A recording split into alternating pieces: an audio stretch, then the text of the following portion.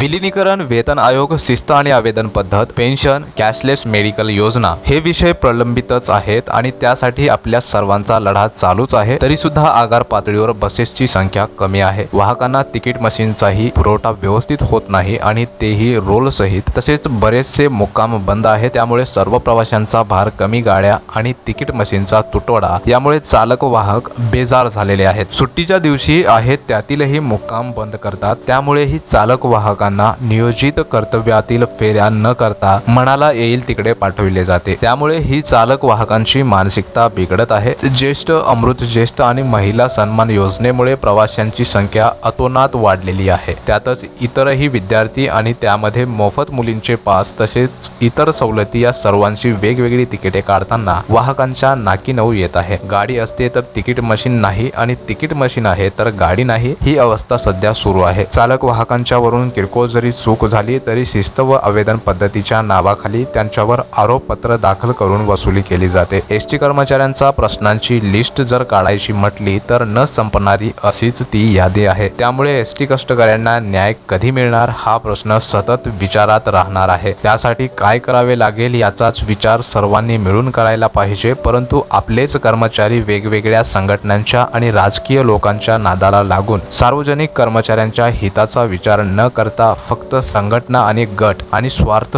यामध्येच अजूनही अडकलेले दिसत आहे तेव्हा सर्वांनी मिळून आजच्या घडीला आपल्याला भविष्यात न्याय मिळवायचा असेल तर विचार केलाच पाहिजे आणि पुढील वाटचाल योग्य दिशेने झाली पाहिजे असे मला वाटते. ही पोस्ट मोठ्या प्रमाणात व्हॉट्सअप ग्रुपमध्ये व्हायरल होत आहे. एस टी कर्मचाऱ्यांना या पोस्टबद्दल काय वाटते? कमेंटमध्ये नक्की कळवा. चॅनलवर नवीन असाल तर चॅनलला सबस्क्राईब करा. खूप खूप धन्यवाद.